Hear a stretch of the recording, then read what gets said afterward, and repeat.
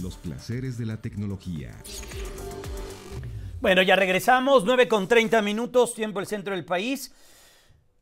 Está Armando Reigadas y los placeres de la tecnología. Armando, la semana pasada el mundo se nos venía encima porque Twitter estaba jugándonos una muy mala pasada. Este, creo que las cosas ya eh, llegaron a, a, El agua tomó su nivel y Sí. irrumpió Threads. ¿Ya tienes Threads, mi querido Armando Reigadas, primero? Por supuesto, muy buenos días, Jaime, Buenos amigos días. del auditorio. Pues te saludé por ahí, ¿no te acuerdas? Sí, por eso te digo. eh, yo, ya tengo Threads. ¿Tú ya tienes Threads, Cintia? No, Jaime, me he resistido ¿Por a qué? tener una. No, ni- ni- o sea, ya otra cuenta, de- ya otra red social ya es Hay una demasiado, Armando. muy fuerte, ¿no? ¿No crees que es demasiado ya otra red social? Pues es que depende cómo vaya evolucionando esto, ¿no? Si yo creo que, como lo dije la semana pasada, que esto tarde o temprano Twitter iba a agarrar otra vez su nivel, creo yo que puede ocurrir y, como dice Cintia, ¿no? Hay mucha gente que dice, ¿para qué quiero otra red social si aquí estoy bien, si aquí está funcionando, si aquí estoy trabajando bien, ¿no? Entonces, pues depende, depende de muchas cosas, obviamente depende mucho de la cuestión personal y eso, pues, si a ver, se agarra pues eh, una masa crítica de gente allá adentro interactuando, actuando como, pues en la actualidad lo hacemos en Twitter y estamos acostumbrados a hacerlo, ¿no? Habían dicho que íbamos a, que lo iban a sacar el jueves, lo sacaron antes, incluso el miércoles, y todo el mundo empezó a migrar. Superó los 10 millones de registros las primeras 7 horas, nada más. Y ahorita va más allá de 30 millones. El último número hay que revisarlo, pero bueno, pues supongo yo que ya estará por llegar a los 30, a los 35, una cosa así, ¿no? Y bueno, pues eh, está fuertemente vinculada con Instagram, es decir, necesitas una cuenta de Instagram para eh, tener tu cuenta de threads. Y uno de los principales problemas que se, ha, que se ha quejado la gente, porque obviamente es algún producto que no está final, no está terminado completamente, es que no tiene un feed cronológico, falta la edición de publicaciones y hashtags, y también pues no tiene una versión web, es decir, todo lo tienes que hacer a través de tu teléfono y no como Twitter, que puedes hacerlo vía el navegador, etcétera, etcétera, etcétera, ¿no? Pues a mí, este, al principio me deslumbró, después ya el agua, como digo, llegó a su nivel. Veremos qué ocurre. Yo sabes por qué también lo saqué para que, eh, eh, pues, no me ganaran el dominio, según yo, ¿no? Porque yo llegué muy tarde a Twitter. Yo Sí, llegué sí, sí. tarde a Twitter, no sé en qué año habré llegado, y yo cuando quise poner mi nombre, pues ya era imposible, porque ya todo no, el no mundo era- tenía Jaime Núñez, eh, bla, bla, bla, bla, bla, y pues por eso puse el, esta cosa que es Janupi, pues que, y que no se oye tan mal ya al final del día, ¿no? Pero es que es Jaime Núñez Piña, por eso, por eso es Janupi. Pues ya es tu marca. Pues, pero ya es como una marca, ¿no? Pero este, y por eso también dije, "Pa, antes de que me la ganen, me voy a meter. Y si mañana sacan una Armando, lo mismo voy a hacer, para que no me ganen claro. mi dominio. Es lo que muchos hacemos, ¿eh? Y a mí me lo ganaron, pero me lo como, como, es, como es heredado de Instagram, pues a mí ya me lo habían ganado hace mucho tiempo. pero Ah, ok. Pues ahí está. Ahí está. Eh, no se va a lanzar en Europa, fíjate, esta es una cosa No. que a mí me llama mucho la La atención. Unión Europea es muy, muy, puntual en temas de privacidad y de todo lo que tiene que ver con, con leyes y no lo soltaron allá. Exactamente. ¿Por qué? Porque Meta tiene problemas con toda la cuestión, como muy bien lo dices, de privacidad y legislación ahí en Europa. Entonces, creo yo también que ese es un, una contra muy grande. ¿Por qué? Pues porque vamos a estar aislados de lo que ocurre, de lo que dice la gente que eh, pues genera información allá en el, del otro lado del Atlántico, ¿no? Bueno, pues qué interesante. Ahí ve- veremos la evolución. Oye, esta tecnología usada en vacunas para el COVID podría eliminar algunos tipos de cánceres. Es la, la nueva manera, el- el avance de la ciencia que dio el COVID-19, pues nos va a poner en otro momento para atacar otro tipo de enfermedades. Exacto, y una, el uso de una tecnología que se desarrolló, pues ahora sí que de forma emergente, ¿no? Ya existía la tecnología, ya existía la investigación de esta tecnología, y obviamente su función era médica totalmente, ¿no? Cuando vino la, la pandemia de COVID-19, bueno, se aprovechó ese conocimiento para generar lo que se conocen como la tecnología del ARN mensajero. Y esa tecnología pues, se evolucionó mucho, sobre todo los, porque se aceleró durante la pandemia, ¿no? Pero ahora que ya estamos en épocas post pandemia, están empezando a utilizar esta tecnología generada para eh, su plan original, ¿no? Y en pocas palabras, están generando una vacuna que consiste en entregar moléculas de mRNA, es decir, este, e, este RNA mensajero, a las células cancerosas y engañarlas para que produzcan proteínas tóxicas que matan los tumores. Eh, obviamente se utilizó mRNA para producir proteínas similares al virus y entrenar al sistema.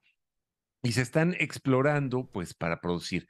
Hasta el momento, eh, estas pruebas con ratones eh, con melanoma han registrado que entre el 44 y el 60% de las células cancerosas fueron destruidas después de una inyección y el crecimiento del tumor se ralentizó y los ratones mostraron una tasa de supervivencia significativamente mejorada en comparación con los ratones de control.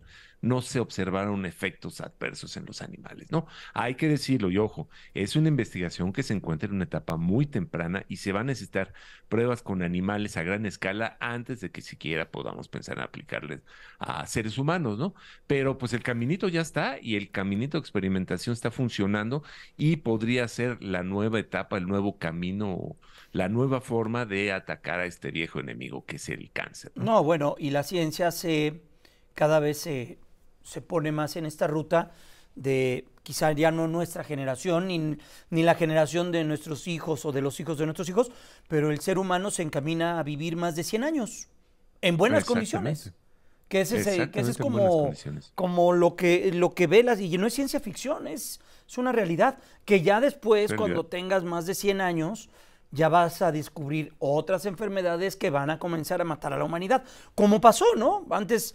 Exacto. Y, antes, no hace mucho, Armando, hace 40 años en los países, eh, déjame utilizar el término subdesarrollados, tú te morías de una diarrea a los 30 años. Claro, claro. Claro, claro. Hoy ya no te mueres de eso. a tu nivel tu nivel socioeconómico. Reyes se morían de eso y nadie podía hacer nada, Exactamente. ¿no? Que, en teoría recibían las mejores. Pero bueno, pues aquí estamos y esperamos que esto sea una verdadera solución a este problema. Exacto. Bueno, y no hay que perder esto de la llamada de los gadgets, ¿no? Que eh, utilizan inteligencia artificial. Hubo un evento de la ONU, lo estábamos platicando el día de ayer, mi querida, eh, mi querida Cintia, Armando, de que los robots ya amenazaron, ¿no? Que dicen que van a manejar, que pueden eh, gobernar mejor el mundo que los humanos. Su amenaza no hay engaño, Armando. Velo. Sí, sí, sí, nos están advirtiendo, nos están advirtiendo. Pero mientras tanto, este gadget que me encantó, ¿por qué? Porque ha recibido alguna llamada que, dijiste, que dices, híjole, ojalá lo hubiera podido haber grabado. Bueno, en este caso, Uy, qué delicado. es un desarrollo una empresa que se llama IcyRec, que es una campaña, eh, creó esto que se llama Cloud Note, es un grabador de voz avanzado, ¿no? Es algo que tú colocas en la parte posterior de tu teléfono, Android o iPhone, lo que sea, y no solamente graba las llamadas de, de, de, tu teléfono o el medio ambiente, las voces en el medio ambiente, convierte el habla en texto y proporciona transcripciones precisas y resúmenes. Ofrece también las transcripciones de voz y puede, puede utilizar hasta 57 idiomas. Tiene una duración de batería de 30 horas, grabación continua y puede almacenar 480 horas de grabaciones en un cuerpo que tiene una memoria de 64 gigabytes. No, hombre, Disponible por no. Una joya para nosotros que nos dedicamos al periodismo, pero si cae en malas manos, qué peligro, ¿eh? Pues sí, ya entramos y sobre todo, fíjate que cuando investigas este tipo de cosas, la misma gente que narra este tipo de descubrimientos, este tipo de desarrollos tecnológicos, pone al margen. Recuerden que grabar, es, grabar llamadas es algo que puede ser penado, te lo tiene que autorizar. Es decir, si tú vas a grabar a alguien, le tienes que pedir permiso. Oye, ¿te puedo grabar? Porque si no, pues cae en terrenos de la ilegalidad. Pero bueno, CloudNote está disponible en 99 dólares y su distribución podría comenzar en septiembre de este año. Pues qué interesante. Eh, ¿Ya hay alguna aplicación? Yo tengo una Translate que tú metes textos de entrevistas y te hace una transcripción. Está bien bueno eso. Sí, sí, sí. Y el mismo chat GPT te hace la resumen, ese, tú pones el documento así larguísimo y dices, resume este, pum, pum, pum, te avienta las viñetas y ya no tienes que leer todo el artículo.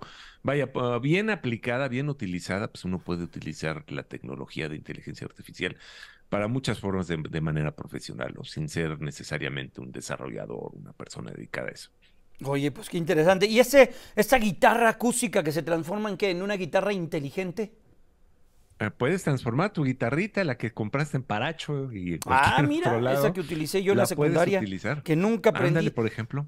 Yo nunca aprendí nada. Toco la puerta desafinada, mi querido Armando, imagínate. Yo estoy en las mismas. Yo, por más que practicaba, nunca pude sacar las mañanitas. Pero bueno, High Vibe Essential se llama esto, ¿no? Pues transforma cualquier guitarra acústica, perdón, en una guitarra inteligente.